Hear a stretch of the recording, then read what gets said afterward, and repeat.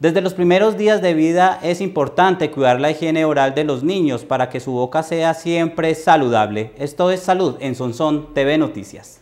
La sección de salud es patrocinada por la IPS Santa Mónica, Servicio de Consulta Médica Especializada. Separe su cita en el 869-2086. IPS Santa Mónica.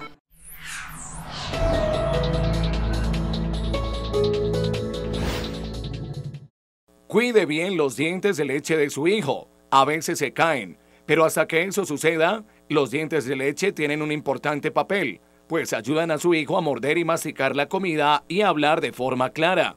En muchos momentos las mamás acostumbran que el niño se duerme con el tetero en la boquita. Entonces va a pasar lo que llaman caries de biberón o caries por el tetero. Entonces tener en cuenta ese aspecto. Antes de que el niño se duerma, lo mismo, eh, con la gasita o si el bebé ya presenta unos dientecitos, utilizar un cepillito de bebé, hacerle la higiene oral porque este aspecto es muy muy delicado. La prevención es muy importante en estas edades porque los niños de todas maneras todavía no saben eh, cuidarse la boquita, no saben cómo son los métodos de higiene, entonces tiene que ser algo que se haga muy didáctico, es una forma de hacer una interacción mamá-hijo eh, establecer lazos afectivos y enseñarle al niño a cuidarse. Enseñar a su hijo los métodos de higiene bucal apropiados es una inversión en salud que le proporcionará beneficios para toda la vida. Lo primero es darle un buen ejemplo. Al cuidar usted sus propios dientes, el niño recibirá el mensaje de que la salud bucal es algo importante. En el mercado existen un tipo de cepillos muy bonitos, eh, que motivan al niño. Entonces, bueno, pueden ir con el niño, ¿cuál cepillo te gusta?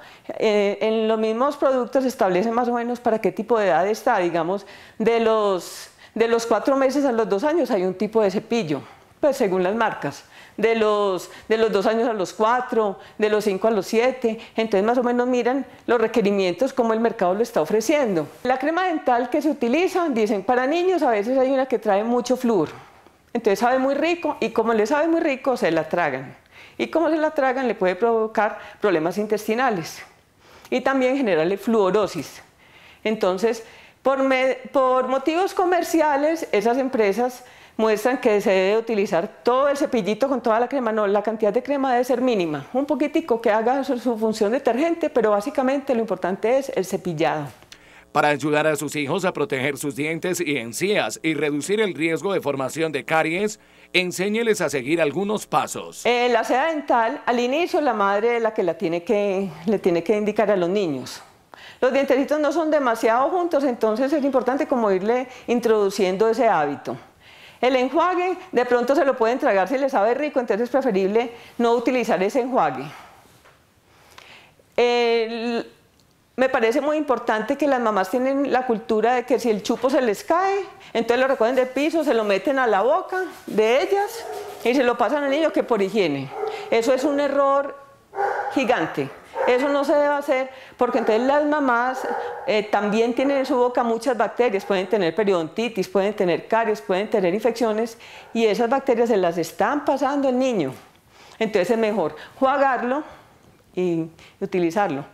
Una dieta balanceada es necesaria para que sus hijos desarrollen dientes fuertes y resistentes a las caries. Además de la gama completa de vitaminas y minerales, la dieta de un niño debe incluir mucho calcio, fósforo y los niveles apropiados de flúor.